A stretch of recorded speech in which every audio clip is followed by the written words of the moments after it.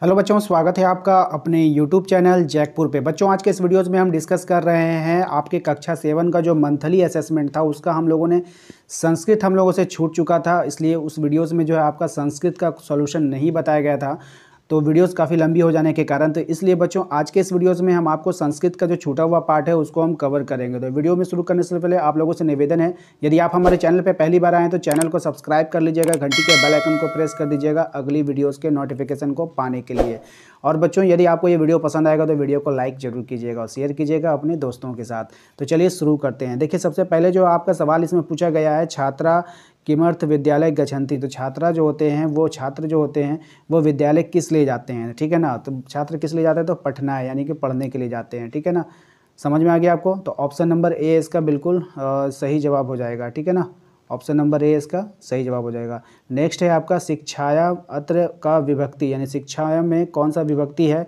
तो बच्चों, आपको यहाँ पे आंसर देना है ऑप्शन नंबर है चतुर्थ विभक्ति। ठीक है? समझ में आ गया आपको?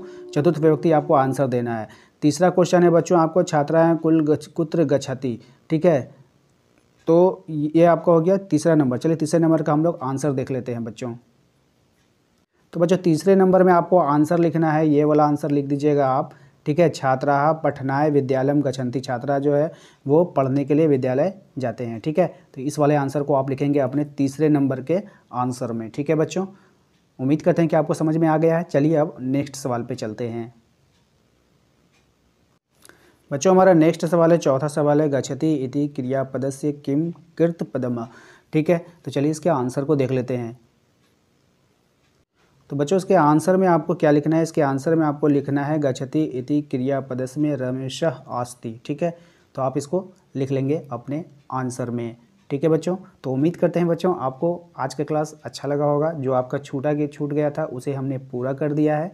तो आप इसे नोट कर सकते हैं, अपने असाइनमेंट को पूरा कर सकते हैं, ठीक है बच्चों? तो चलिए जल्दी ही मिलेंगे अपने अगले पार्ट में, अगले वीडियोस में, जो आप ही के लिए होगा। तो वीडियोस को लाइक कर दीजिएगा। चैनल पर यदि पहली बार आए तो चैनल को सब्सक्राइब कर लीजिएगा।